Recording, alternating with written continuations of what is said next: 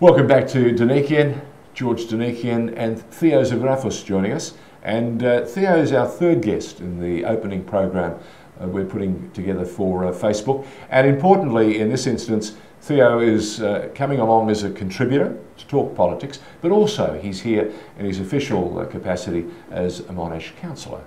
Local government is important. They've got uh, some in, amazing things that they need to attend to. And of course, when they do the job uh, poorly, we all complain. When they do it well, nobody says a thing. So, with that in mind, welcome to the show, Theo. Hello, George. Thank you very much for having me. It's great to be here. My important uh, responsibility is to get as much out of you as we possibly can without jarring and without taking you into areas that you're not comfortable with. Uh, so let's come back and talk about Australian politics, which has been very much in the news this week. Okay, we've seen uh, at federal level uh, all manner of uh, hue and cry about Christopher Pyne, mm. who is, I suppose, the Minister for Business or doing business in the federal government. And uh, he's a major player in South Australian politics, but he's also been a pretty strong character in the federal parliament. And he's, he, he stepped out of turn, he spoke, I suppose, out of turn, and it's come back to haunt him. Uh, what's been the feedback from your end, from your perspective? Well, I think um, it shows that in this day and age, um, politicians need to be mindful of um, what they say in any setting, whether it's off the record or in a private uh, event. Uh, we saw that a few weeks ago in Canberra, where the Prime Minister made some remarks that were reported in the media by Laurie Oakes. Um, Laurie Oakes, by the way, chose not to follow uh, everybody else. Uh, was it a case of Laurie being Laurie and standing outside and wanting to show the world that there are no rules, they're just my rules? Well, look, I don't know Laurie Oakes, but I can definitely say that um, there's more to why it was leaked um, than what's been reported. And uh, I think in this day and age, the Prime Minister and other members of Parliament need to always assume that whatever they say will be reported. Um, on that particular occasion, I don't think it did any harm to the Prime Minister. It made him look um, more human than the average politician. And um, I think that's probably a good thing for Australian politics. I totally agree there, but it did create some uh, disharmony uh, within certain factions of the Liberal Party who feel that uh, uh the comments showed that uh, maybe it was the, the, the, the subject that, that, we're talking about, and that is um, uh, marriage equality is a lot closer to actually happening than they imagined it would be, a plebiscite or no. Well, it's certainly an issue that has um, a variety of views within the Liberal Party, both in Canberra and across the country amongst yep. our membership. Um, and the government had a policy before the last election, um, and I think that uh, they should keep to that policy before the next election. If they want to change their policy and they should take it to an election on this such an issue. And their policy was defeated in the parliament in terms of having a plebiscite. Um, I think that's the, res the, responsible way to go about it. Now you have your ear on uh, much that's being said in your local constituency. Mm. Um, what do Monash um, uh, constituents uh, saying about equal uh, uh, marriage, equality in marriage? Do they want to see it? Do they want to change the, the standard that has basically been uh, in effect since Federation, since 1905? I can't give you a, a, definitive answer because I haven't asked every single resident in my community. But the people that have spoken to me, um, I would say that it's not their number one concern. Yep. They want their government to deliver a budget surplus. They want their governments to cut down on waste. Um, it's probably not in their top five issues. If I could, people that have spoken to me. Having said that, but the drivers, the people who are actually pushing this, the lobbyists, so to speak those, those, those uh, uh, families that really want some, uh, some sense of uh, not continuity, but uh, being made to feel like they're mm. as, as good and as yeah. capable, and I suppose they don't want to be seen as second class citizens. No, of course. So they're saying if, if we have, want to have a partner, mm. our, my, our feeling should be that they should be acknowledged in, in a legal way, yes. just like everyone else is acknowledged and they have every right to seek that acknowledgement. I've got nothing against their quest and their campaign that has been going on for decades in this mm. country. Um, it's about where we fit it in in terms of um, the legislative requirements of the parliament, the priorities of the government of the day, whether it's this government or any future government. or even if you go back to the Gillard government where there was um, private members' bills voted Mm. on in the, in the federal parliament. It's certainly not something that is raised with me as a local councillor in any way Often of, enough. any great mass. No. Okay. Yeah. All right. All right. Let's. Uh, so uh, uh, let's let's just take a moment and a pause. And on a scale of uh, one to ten, how has the week run for the prime minister? Um, I would say that um, it hasn't been the best week, unfortunately, due to some of the reporting around divisions within the party, um, and of course the former Prime Minister, Christopher Pyne, um, reporting as well didn't help the government. Christopher Pyne then needed to apologise. Yeah. Um, But you're alluding never- to Tony Abbott uh, Yeah. distracting people in the in the uh, uh, in the in the Parliament and in Canberra, uh, and insisting that he has a voice as a former prime minister. He has a voice and he wants to make it a very loud one. Yeah, and I think he's entitled to um, to speak up from time to time on issues that he believes are important. He is a former Liberal Party leader, and as you said, a prime minister. That carries enormous weight, but it's also a matter of respect. Having said that, um, it's the government's role to lead, and the prime minister's role is to lead, and he doesn't need to be distracted if he remains focused on the job at hand, and that goes the same for ministers and members of the of the government, members of parliament. Um, so I think that uh, if the government continues to stay focused, um, regardless of any potential division, they will be able to get runs on the board. Okay. Uh, let's. uh, Speaking of runs on the board and uh, things that are happening and uh, evolving as we uh, as we uh, live, um, I noticed the prime minister did something revolutionary today. Mm. Yeah, something innovative, uh, and he loves being uh, He spoken of as the He's the innovative uh, pre- uh, prime minister. Yeah. So he's done something that we're doing in a, in, a, in a manner of speaking. We're creating a program. We're putting it on Facebook. We believe it's a new platform, Mm. uh, and we think it is uh, the way of the future. In fact, there are a great many people within the organisation of Facebook who want to spend billions of dollars to make um, Facebook the new TV platform. So, what did the Prime Minister do today? Well, George, he visited the Facebook headquarters in Sydney, the Australian headquarters, and Would, uh, he have, would he have visited the headquarters if it was in Melbourne? of course he loves Okay, Melbourne. right. He, he gave 1.2 billion dollars. To And he loves trams.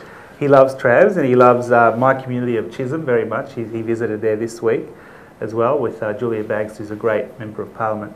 But he was at in Sydney today and um, he was interviewed uh, live on Facebook. And of course, when you do that, Facebook users can be engaged by commenting and liking, and as we hope will be happening at the moment. That's right. But um, Did you but- get a sense of how many people uh, I lock, think there was about and a thousand, a thousand at that particular time, but since then there would have been multiple thousands more.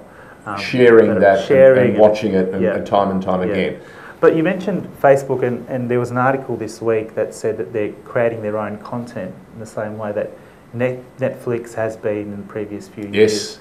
So Facebook itself will now um, be producing sh- the television shows, uh, dramas, movies, and broadcasting that on their platform. So that's exactly where the future is.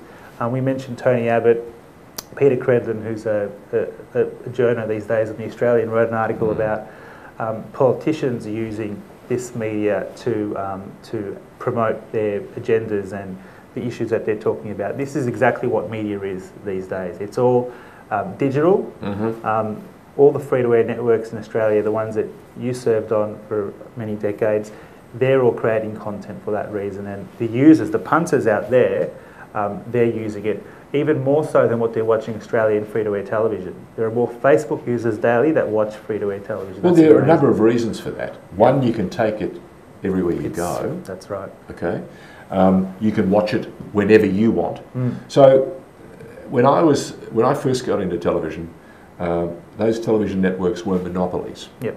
If you wanted any information, you had to wait Mm. four o'clock, five o'clock, right. six o'clock, nine o'clock, whatever, and you created habits. Mm. Now, all those habits have gone by the by. Mm. All those technologies now are seeing new disruptors. And I noticed that one of these new disruptors is Facebook.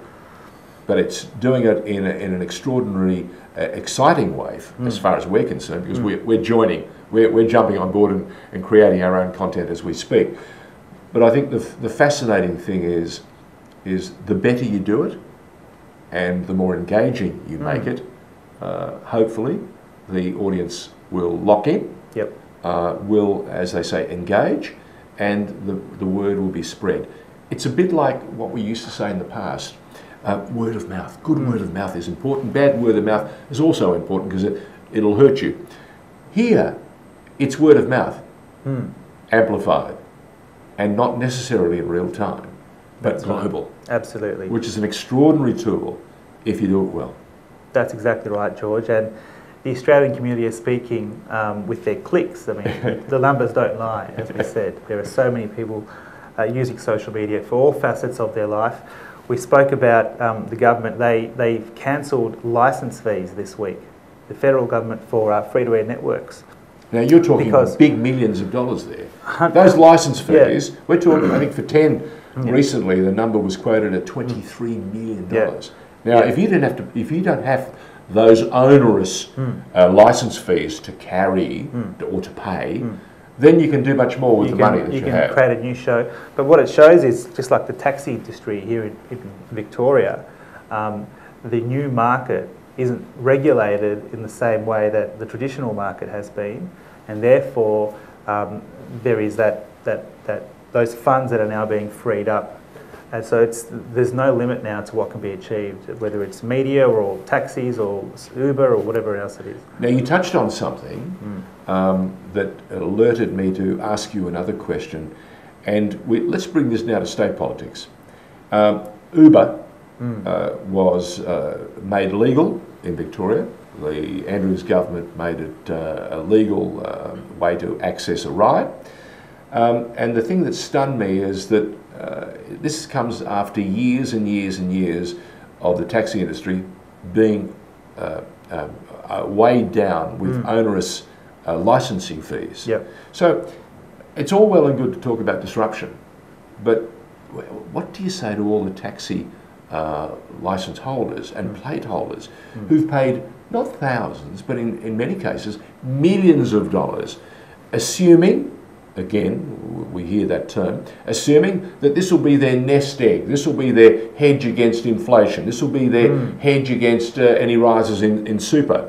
And being told now that those licenses are almost worthless. Well, they're not quite worthless, but when you consider what they were paid Mm. or paid out, Mm. they are worthless.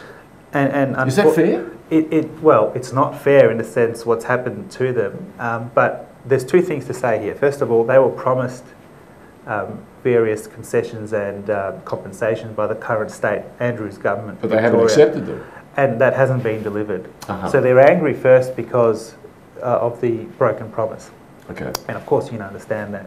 They were initially angry at the previous Baillieu government, but at least he said what he was going to do and did it, as opposed to Daniel Andrews that said, well, I'm, I will do this, but then he hasn't done it to give them the compensation that they're after.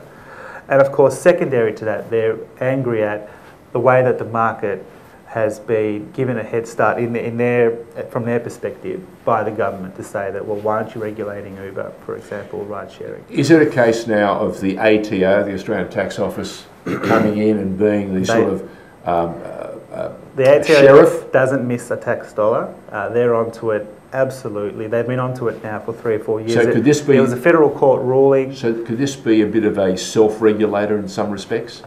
Bring back the power of Uber by saying to all and sundry, all right, if you're going to be a, an Uber player, understand that the tax office wants to speak to you on a regular basis. Absolutely. The tax office will be looking at every single subcontractor, that those are the drivers, Yep. to say, um, are you paying GST quarterly? Are you declaring this as income in your tax return? And if not, uh, we'll come after you. And, and also, the Uber, the company, the entity that actually is an international entity, is now obligated for the first time to give over to the ATO every single driver, their details, their tax and so return number, their tax file number. So Well, that lifts, lifts the, sca- the stakes uh, uh, appreciably and changes Absolutely. some of the. Uh, Uber's already had to change their model. Is that right? Yeah. Okay. Uh, speaking of changing, uh, let's change the subject for a matter. We've got uh, 500 plus days to the next state election Yep. In Victoria. um, in, in Victoria. Uh, how's Matthew Guy tracking as Yeah. the opposition leader, and how's the incumbent looking with uh, 500 plus days still to go? Well, it depends on how you classify tracking. If you go by the published polls, the coalition is um, is well placed um, in terms of in an election winning position. Yep. Um, the incumbent always has the advantage of incumbency, so um, I don't think anyone in the coalition is underestimating Daniel Andrews and his team. Um, I think in Victoria every election is competitive, Mm-hmm. even the ones where Liberals got decimated in 2002. It was competitive up to the last 10 days until we had some issues in our own party and um, it, was, it was a landslide to Steve Bracks. So I think my, my feeling on it is, is that um, there are at least half a dozen seats that I can see changing, but the coalition needs at least seven to form government in its own right. I think a hung parliament um, is a possibility. Having said that, George, we're 18 months out, so it's an eternity until the next election. 514 And days. plenty of opportunities for a banana skin to uh, slip by and uh, unsettle both players, both sets of players. We don't know what One Nation, One Nation will do. For example, will they contest the Victorian state election? Um, if they do, then that will have ramifications. Um, their preferences seem to go 50-50 at the federal level, but where they will go in some rural seats in Victoria, we don't know. Um, I think that Daniel Andrews many times looks as though he wants to lose the election.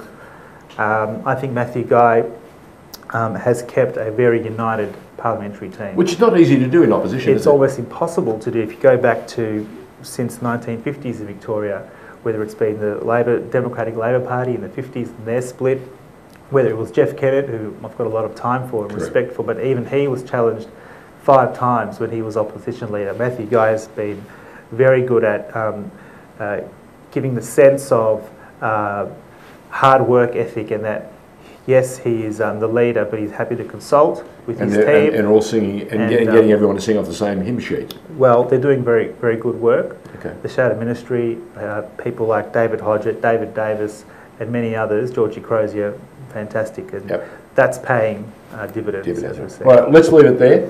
Uh, you'll come back as often as we need you, Thank you. and more importantly, uh, we'll get as we get closer to both the state election and, and we'll talk it, uh, about federal matters as well. Uh, we'll get we'll get uh, more in depth about uh, what are the sorts of drivers, what are the sorts of things that Australians, both at local government level, at state government level, and at federal level, are thinking each and every week. Thanks for joining us. Thanks, George. That's Theo Zographos on Donikian. When when we come back, we'll uh, let you know what's happening in our next episode of Donikian on Facebook.